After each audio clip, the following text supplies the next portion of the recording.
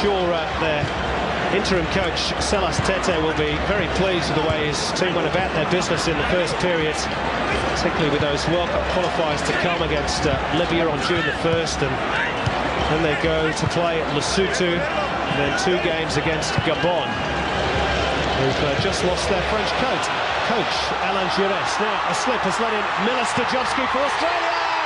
Sterjovski scores right at the start of the second half. What a finish! And what a moment for Pim Verbeek right after the whistle from the referee to signal the start of the second period.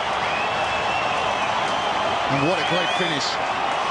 But Mile Sterjovski wasn't in the game enough in the first half. There's the mistake. He picks up the ball. He's got one thing on his mind.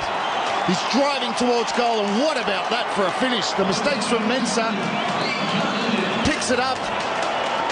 Drills that into the far corner of the net. Armamou, no chance at all. You can see him there, his head down, eye on the ball, and he hits it with some venom and crashes into the back of the net.